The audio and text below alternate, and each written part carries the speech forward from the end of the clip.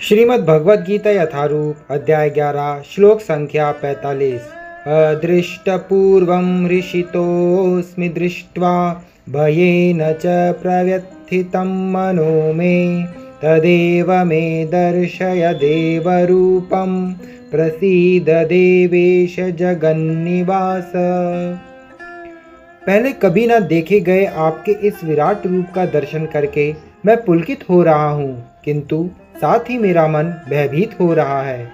अतः आप मुझ पर कृपा करें और हे देवेश, हे जगन्निवास, अपना पुरुषोत्तम भगवत स्वरूप पुनः दिखाएँ। तात्पर्य, अर्जुन को कृष्ण पर विश्वास है, क्योंकि वह उनका प्रिय मित्र है और मित्र रूप में वह अपने मित्र के ऐश्वर्य को देखकर अत्यंत पुलकित है।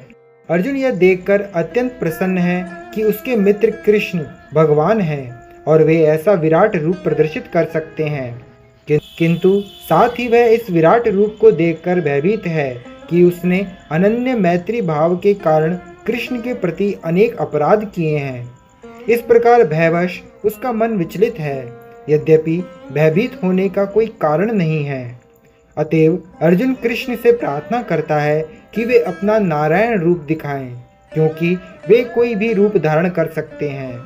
यह विराट रूप भौतिक जगत के ही तुल्य, भौतिक एवं नश्वर है। किंतु वैकुंठ लोक में नारायण के रूप में उनका शाश्वत, चतुर्भुज रूप रहता है।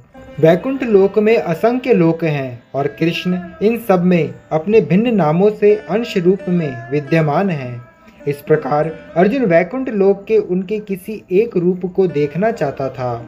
निसंदेह प्रत्येक वैकुंठ लोक में नारायण का स्वरूप चतुर्भुजी है। किंतु इन चारों हाथों में वे विभिन्न क्रम में शंख, गदा, कमल तथा चक्र के चिन्ह धारण किए रहते हैं। विभिन्न हाथों में इन चारों चिन्हों के अनुसार नारायण भिन्न भिन्न नामों से पुकारे जाते हैं। ये सारे रूप कृष्ण के ही हैं, इसलिए अर्जुन कृष्ण के चतुर्भुज रूप का दर्शन करना चाहता है। हरे कृष्ण।